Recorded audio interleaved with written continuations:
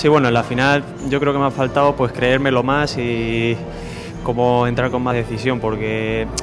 a lo mejor,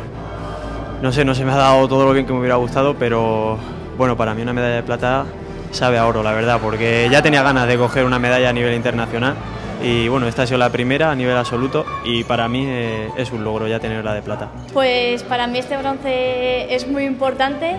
ya que es la primera vez que vengo a los Juegos del Mediterráneo y, es un evento muy importante. Pues los combates han ido bien, me he sentido muy a gusto con mi trabajo, estoy muy satisfecha de todo lo que he hecho.